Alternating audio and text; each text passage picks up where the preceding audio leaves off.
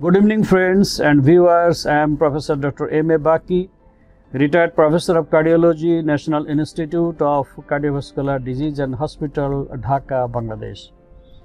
I am speaking from my heart center, Japan Bangladesh Friendship Hospital.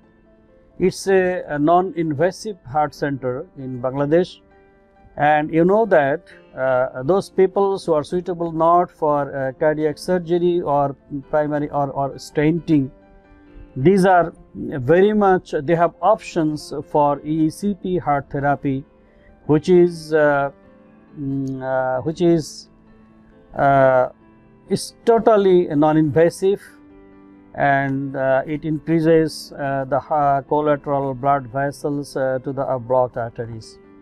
You know the when the heart attack or pre-attack the patient uh, uh, develops angina or shortness of the breath um, breath then is, is coronary angiogram shows uh, some blockage.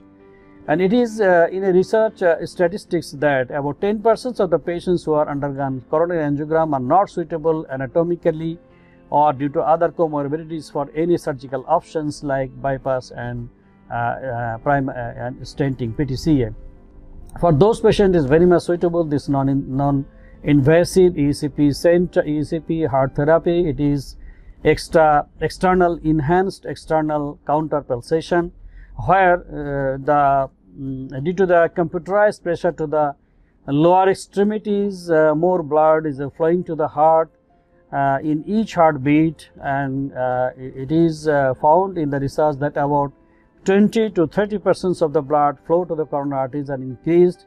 As a result, lot of changes are gradually occurs and there is collateralizations uh, against uh, the blocked arteries and patients relieves from angina and heart failure. So it is Japan Bangladesh Friendship Hospital. We started uh, ECP heart therapy since 2009 and we are pioneer in Bangladesh. I started uh, it is uh, in July 2009 and it is continuing uh, till now and lot of patients are being benefited from here. Thank you very much and greetings from Dhaka.